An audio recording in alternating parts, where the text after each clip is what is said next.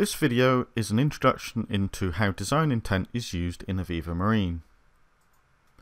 So what we're going to see is a, a, very quick review of how the 3D and 2D models are reviewed in AVEVA Marine. And then we'll introduce a basic panel into a very simple section of a ship. We'll go on to copy that panel to another location as if it was a template and it would update itself to the local shape in that position then we'll relocate a major member, a deck, and show how that updates all the connected elements, including the panels that we've just introduced. And then we'll go in uh, along to update some of the elements on the surface of the vessel. So here we've just started AVEVA Marine in a very simple project. We'll bring our model into the 3D space. We can see we've got some very simple um, structure and a little bit of outfitting inside. Uh, now we're in the 2D space. We can bring in a very similar view of the model, but in wireframe, part of a drawing, and build up the model in a very similar way.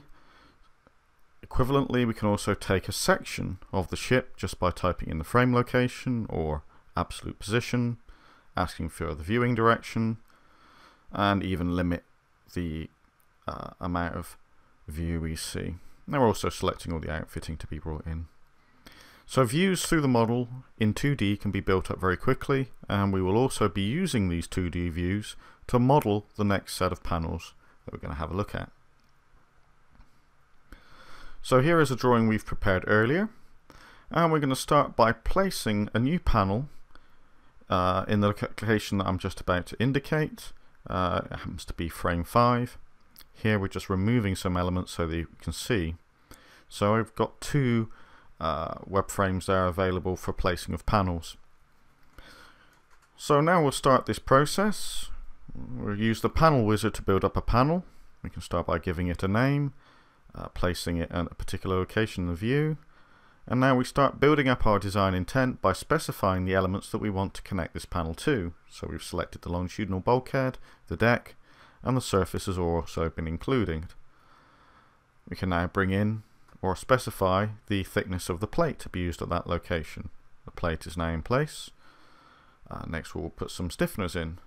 These are simply going to be some flat bars um, placed along a line and we'll simply indicate them based on the frame spacing.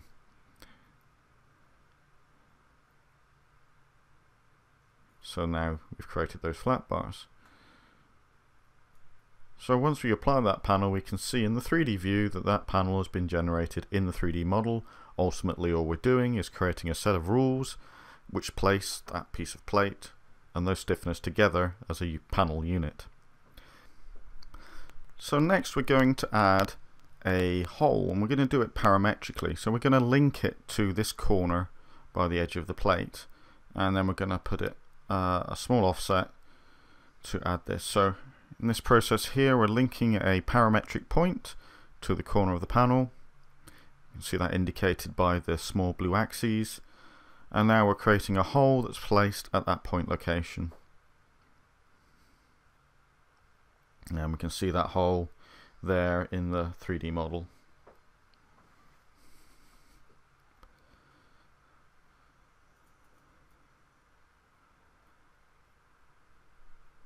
Here we see the set of rules, the design intent that has been used to build up this model.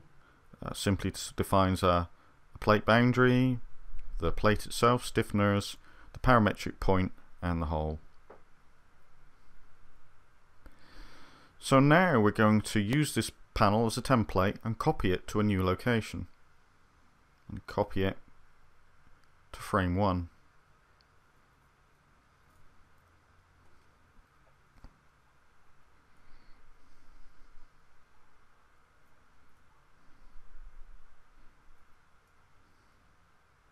So that quickly takes that panel, copies the rules, adjusts the frame location, and places a new panel there based on the same information but it will be adapted to the new size of the shape in that location. To see the design intent working what we're next going to do is modify the location of this deck. We're going to take it down by 500 millimeters. So here we see the deck move down and the views updated but at this point we haven't yet updated the neighbouring panels.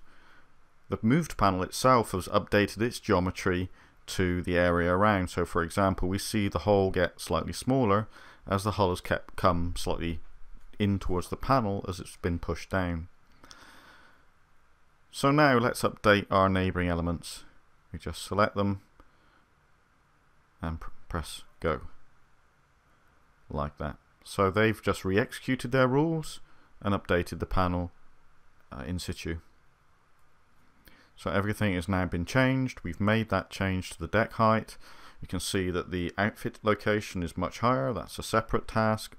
Um, now we have a task to update the stiffeners. Now we have to uh, update, select them directly as there's also a panel in the view that has the same, exactly the same geometry. Uh, but there we have the update to the side shell.